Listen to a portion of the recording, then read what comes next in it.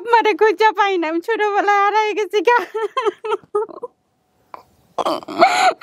আমার আমার বাবা বাপ মারে ছোটবেলা থেকে খুঁজা পাই না। স্যার আপনাকে অনেক ক্ষমতা আমার বাপ মায়ের একটু খুঁজা দেন স্যার। অবশ্যই আপনি আপনি অনেক চেষ্টা আপনি জানি আপনি অনেক পারেন করবার লেগে। আমার বাপ মায়ের একটু আমার অন্তত আমার মাটার একটু খুঁজা আমার মা আমার মায়ের খুব মনে পড়ে স্যার।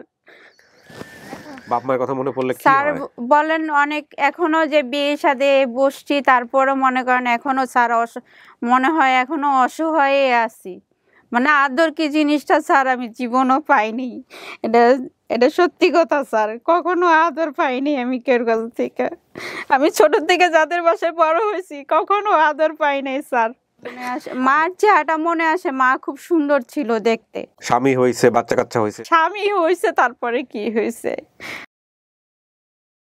প্রিয় দর্শক এবং শ্রোতা ভিডিওটি দেখবার আগে আপনাদের খুব চমৎকার একটা কথা বলতে চাই। আপনারা জানেন যে বঙ্গবাজারে যে ভয়াবহ অগ্নিকাণ্ড ঘটে গেছে সেটার বিষয়ে খুবই কনসার্ন হচ্ছে আমাদের প্রিয় নগদ।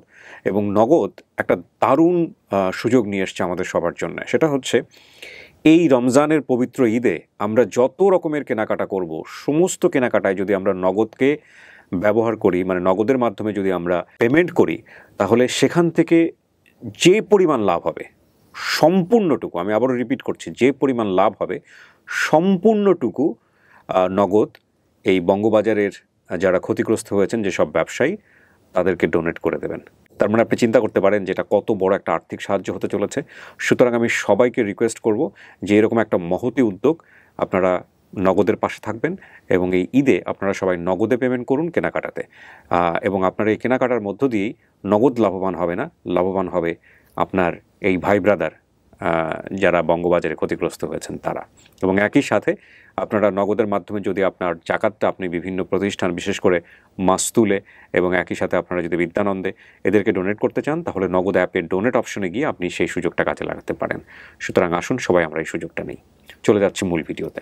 আসসালামু আলাইকুম, প্রিয় দর্শক এবং শ্রোতা। আল্লাহ সর্বাবস্থায় আমাদের সবার মঙ্গল করুন। সে দোয়া এবং শুভকামনা জানিয়ে শুরু করছি। আপন ঠিকানার আরও একটি বেসিক ভিডিও এবং শুরুতেই জানিয়ে রাখছি, আপন ঠিকানা studio of creative arts limited বা এসওসি এর সামাজিক যোগাযোগ মাধ্যমের জন্য নির্মিত অনুষ্ঠান। যে অনুষ্ঠানের মাধ্যমে আড়াইশোর বেশি ছেলে মেয়ে তাদের পরিবার থেকে হারিয়ে গিয়েছিলেন তাদেরকে আমরা পরিবারে ফেরাতে পেরেছি আলহামদুলিল্লাহ। সো আমি কথা বাড়াবো না এরকম একটা কেস নিয়ে আপনাদের সামনে আবারও হাজির হয়েছি এবং সবই হয়েছে আল্লাহর নামে আপনাদের চেষ্টায়। দয়া করে আপনারা চেষ্টা করুন চেষ্টার কোনো কমতি করবেন না। আমি যাকে এখানে উপস্থাপন করছি তার মুখেই গল্পটা শুনব। নাম কি আপনার? আমি না আমেনা। আমেনা নাকি বাবা মায়ের দেয়া নাম? জি। চেঞ্জ হয়নি পরে আর। না চেঞ্জ হয়েছিল হ্যাঁ। যারা ছোট থেকে বড় করছে তারা মিনা রাখছিল। হ্যাঁ। আহ, মানে আপনার তার আসল নাম আম- হ্যাঁ জি আসল নাম আমি না আপনার ভ্রুরি কাটা ডাকতে কি একবারে ছোটবেলার? হ্যাঁ এটা ছোটবেলার। আর এই হাত হাত কাটা এটাও ছোটবেলার। এটা কি বাবা মা জানে? হ্যাঁ জানে। হাতের কাটা বাবা মা জানে? হ্যাঁ জি জানে। এটা আপনি কি জানেন এটা কীভাবে হয়েছিল? এটা জানেন কিনা? এটা ছোটবেলায় আপনি জানেন কিনা? হ্যাঁ না আপনি জানেন না। ও তাহলে ক্লু দিয়ে তো লাভ নাই। আপনি যদি জানতেন তাহলে তারা যেটা বলতো সেটার সাথে ম্যাচ করলে আমাদের জন্য সহজ হতো। সমস্যা নাই। এছাড়াও অনেক ব্যাপার আছে চেনার। ঘটনা কি ঘটেছে? আমাকে একটু বলেন তো ছোটবেলা থেকে। ছোটবেলায় ওই যে লঞ্চে দিয়ে আইসা পড়ছি। কেমনে আসলেন? লঞ্চে আসলেন কেন? লঞ্চে এখন বাবা মার সাথে আসছি নাকি? খেয়াল নাই। ছোটবেলায় একদম আসছি। আচ্ছা লঞ্চ কি বাড়ির সামনেই থাকতো? হ্যাঁ লঞ্চ বাড়ির সামনেই। কেমনে উঠলেন লঞ্চে গিয়া? একজন ধইরা তারপর উঠাইছে। কেন? বলতে পারি না অনেক ছোট আছিলাম। শুধু এটুকু মনে আছে একজন ধরে লঞ্চে উঠাইছে? হ্যাঁ লঞ্চে উঠাইছে। আচ্ছা তারপরে? তারপর লঞ্চে রাত্রেবেলা আসছি প্রথম বরিশাল নামাইছে নামানোর পরে আবার আমি আবার লঞ্চের ভিতরে উঠা পড়ছি ওঠার পরে তারপরে ঢাকায় নামায় দিছে। ঢাকায় নামায় দেওয়ার পরে লঞ্চে সদরঘাটে কান্দাছি কান্দার পরে আমারে আমার বাপ মা বাপ মারে খুঁজা পাই না। আমি ছোটবেলায় হারাই গেছি গা। আমার মা আমার বাবা বাপ মারে ছোটবেলা থেকে খুঁজা পাই না। না তো পাইলেন না তারপরে কি করলেন? আমার বাবা মা আমার একজন ছোট থেকে মানুষ করছে হে কিছুদিন আগে মারা গেছে। পাইলো কেমনে আপনার হ্যাঁ চো এক এক ফোর কিডনি বেটি আমার নিয়ে দিছে এক বেটি এক এক বাসায় নিয়ে দিছে। কারে নিয়ে দিছে? এক হেরা ইয়ে থাকে এক মামা মানে হ্যাঁ মামা ডাকছি আর নানি আচ্ছা ডাকছি। আমিরা শোনেন আপনি রাস্তার ধারে বসে কান্না করতেছিলেন তারপরে কি হলো আপনাকে কে নিয়ে গেল আমার এক ফকিন্নি বেটি আমার একটা ধরে নিয়ে গেছে। ধরে নিয়ে পরে বলে তুমি কাজ করবা? ছোট হেরা পোকা তোমার হেরা পালবো পাল পাইলা টাইলা বড় করব। আচ্ছা। তুমি হেগো বাসে থাকবা তারপরে হেগো বাসে যেয়ে থাকছি। আচ্ছা থাকার থাকার পরে হেরা বড় করছে। বড় করার পরে হেরা বিয়া দিছে। আচ্ছা। বড় বড় করে হ্যাঁ? হেরাই বড় করে বিয়া দিছে। বাবা মায়ের চেহারা নিয়ে কোনো কিছু মনে আসে? না বাবা মার চেহারা নিয়ে মনে আসে মার চেহারাটা মনে আসে। মা খুব সুন্দর ছিল দেখতে। বাবারটা মনে নাই এত খেয়াল আসে না। বাড়ির কথা কিছু মনে আসে? না বাড়ির কথা একটু মনে আসে না। বাড়িতে মনে আসে শুধু ওদিকে ই আছে মানে মানে পান গাছ আছে তারপরে হইল যে সামনে মানে রাস্তা দিকে একটা গল্লি আছে তারপরে মনে করেন একটা স্কুল আছে এতটুকু মনে আসে শুধু। বাইরে কিছু মনে আসে না? এমনি বাইরে আবার সামনে আমাদের মানে সামনে রাস্তার দিকে নদী আছে। আচ্ছা। এতটুকু মনে আছে বাবা কি করতো আপনার? বাবা যে কি করতো অতটুকু খেয়াল নাই স্যার। খুব মুশকিল হয়ে যাবে এটা। কীভাবে সম্ভব বলেন? বাবার নাম মনে আছে মায়ের নাম মনে আছে? ভাই বোন কেউ ছিল? বাবার নাম মনে আছে। হ্যাঁ ভাই বোন কেউ ছিল? আহ, না আমি একাই ছিলাম স্যার তখন। বাবা কি করতো সেটাও জানেন না? লঞ্চে আসলেন কীভাবে আপনি? আমার তো এটাই প্রশ্ন। লঞ্চে? আসছি। লঞ্চে আপনি কেন উঠলেন? কীভাবে উঠলেন? কেন আমাকে একজন ধইরা উঠাইছে। আপনাকে পাইলো কীভাবে যে ধরে উঠাবে ওখানে? ওখানে একজনের সাথে হাঁটতে হাঁটতে আমাকে বলে যা যাবা। মানে নিয়ে এক জায়গায় যাবা। এই কথা বইলা পরে লঞ্চ উঠাইছে আমারে একজনে। হ্যাঁ সেটা তো আপনার স্মৃতিতে আছে। কিন্তু লঞ্চের কাছে কেন আসলেন? এটা কি মনে আছে? এইটাই খেয়াল নাই আমার লঞ্চের সাথে। কারণ আমাদের বাড়িটাই লঞ্চের সামনে স্যার। বাড়ির সামনেই লঞ্চ ঘাট হ্যাঁ। আপনার মায়ের নাম কি? মার নাম জরিনা। আর বাবার নাম? সৌরভ। সোহরাব আর কিছুই মনে নেই আর এক ফুপু থাকে হইল যে খালি আর এক ফুপু হইল পাগল। পাগল? হ্যাঁ। পাগল এটা কেমনে বুঝলেন? ওই ছোটবেলায়? ওই ছোটবেলায় পাগল যে মানে অনেক পাগলামি পানা করতো মানে অতটুকু বুঝতাম আমি। আচ্ছা। তো যে বাসাতে বড় হইলেন এরাই আপনাকে বিয়ে সাথে দিয়ে দিয়েছে। হ্যাঁ আমার অনুষ্ঠানের খোঁজ পেলেন কোথায়? এই যে ওই আমাদের এক ই আছে আমার হাজবেন্ডের এক ভাই আছে এই ভাইয়ে সব কিছু ই করে দিছে। আচ্ছা। বাড়ির কথা মনে পড়ে? হ্যাঁ বাড়ির কথা মনে পড়ে স্যার। মায়ের কথা খুব মনে পড়ে। আপনার তো অনেক কিছু মনে নাই তো মায়ের কথা কি মনে আছে? মায়ের কথা মনে পড়ে। মা মার সব কিছু মনে পড়ে। মা আদর করতো ওইটুকু সব কিছু মনে পড়ে খালি।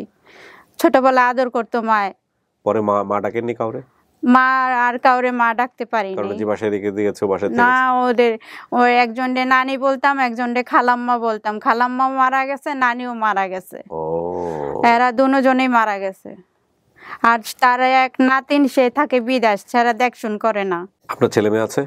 হ্যাঁ আমার এক ছেলে এক মেয়ে। ওরা আসছে? এক মেয়ে ছেলে আসছে খালি। ছেলে হলো ছয় বছর আর মেয়ে হলো বারো বছর। স্বামী কি করেন? স্বামীর সিএনজি চালায়। সিএনজি চালায়। জি।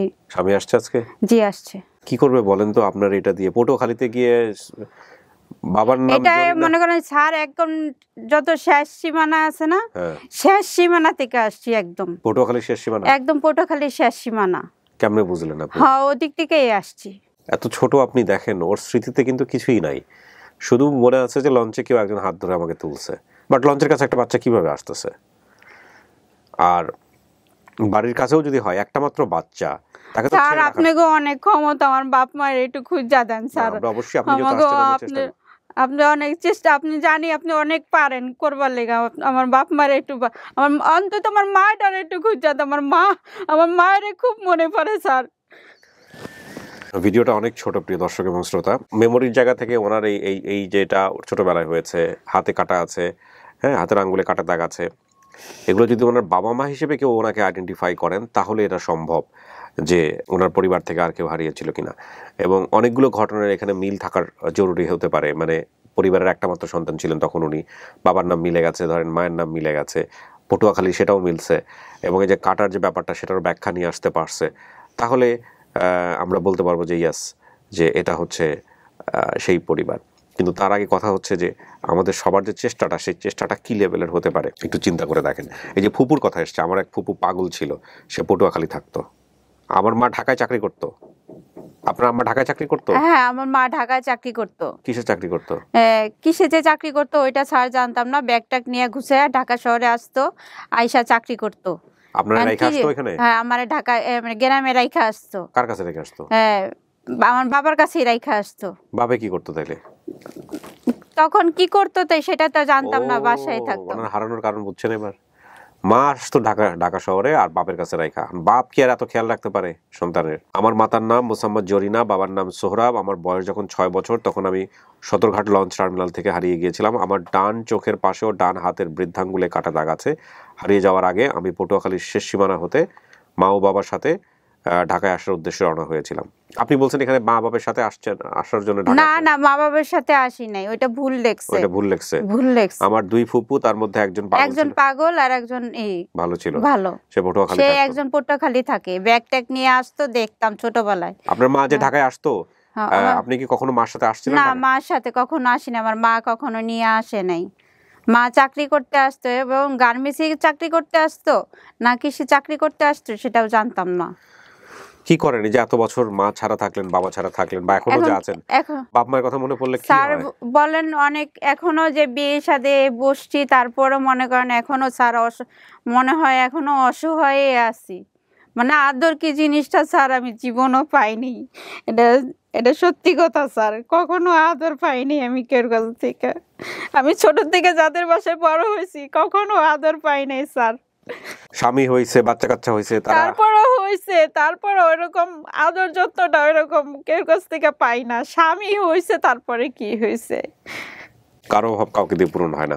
চলেন যতটুকু পেয়েছি ততটুকু নিয়ে আমরা চেষ্টা করব। উনি যেহেতু এসছেন আমাদের কাছে কষ্ট করে আমরা যেহেতু ডেকেছি আহ, বহুত অসাধ্য আমাদের এই অনুষ্ঠানে সাধন হয়েছে। সুতরাং ওনার কপালে যদি আল্লাহ লিখে রাখে আমরা কিছুই না। আমরা শুধু চেষ্টাটুকুই করতে পারি। প্রিয় দর্শক এবং শ্রোতা আর কিছু বলবেন নাকি আমি শেষ করব? না এতটুকু স্যার, বাস শেষ, আর কিছু না। প্রিয় দর্শক এবং শ্রোতা, চলেন আমরা সবাই মিলে চেষ্টা করি একটা ভালো সংবাদ নিয়ে যেন ফিরে আসতে পারি। এই প্রত্যাশা শেষ করছি আজকের মতো। আসসালামু আলাইকুম।